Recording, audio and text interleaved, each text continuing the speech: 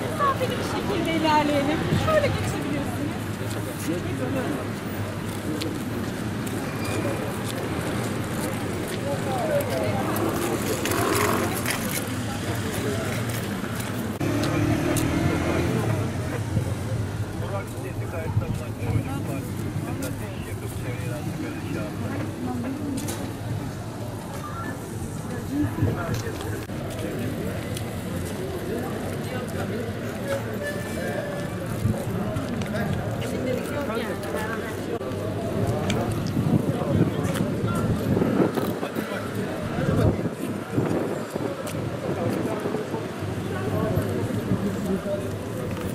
Arttırırsın tedbirleri daha.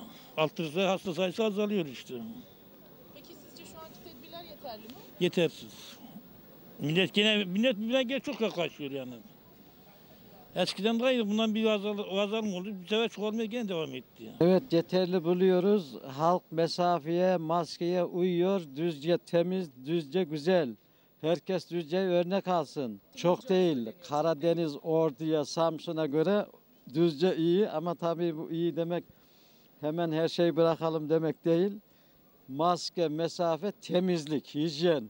Bunlara dikkat edelim. İnşallah kurtulacağız bu virüsten.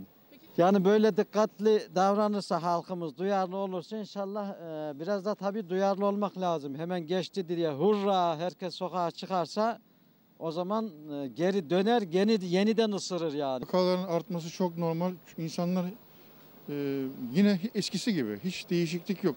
Sadece maskeyi takıyor şuraya. Ama korona var mı yok mu veya e, bunun bilincinde değil vatandaş. Çok kötü durumdayız yani. Toplum bilinci yok daha doğrusu. Peki sizce ek tedbir alınmalı mı? Tabii ki alınmalı. Normale geçmesi biraz zor. Yani ben gö- gözlemledim. Ben her gün e, yürüyüşlere çıkıyorum caddelerde. Şehir merkezinde oturduğum için gözlemliyorum. Hiç kimse e, bir şeyin farkında değil. Yani bu, bu durumun farkında bile değil. Unutmuş gibi sanki. Yani e, aslında normalleşme sürecine geçmesi için daha erken. Daha çok erken çünkü çok var ve bir sürü çevremizde insanlar ölüyor sürekli. Benim ailemden de ölenler oldu, akrabalarımdan da, komşularımdan da öleni oldu ve kimse bunu önemsemiyor.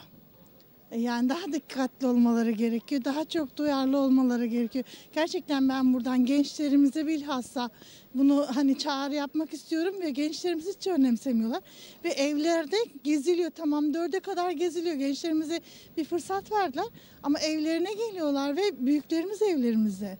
O yüzden çok dikkatli olmaları gerekiyor. tedbirler artırılmasın, normalleşmesin ama bir önüne açılması lazım diye düşünüyorum esnafın. En azından e, iş yerlerinin maddi anlamda dönebilmesi için e, bir normalleşmesi lazım diye düşünüyorum ama vatandaşlarımızın kurallara riayet etmesini e, daha çok arzu ediyorum. Valla tedbirlerin artırılmasında fayda var ama psikolojimiz de bozuldu evde kalmaktan. Bunun bir orta yolunu bulmakta daha faydalı olur diye düşünüyorum. Kademeli olarak olabilir. Düzce'nin durumuna bakıyorum.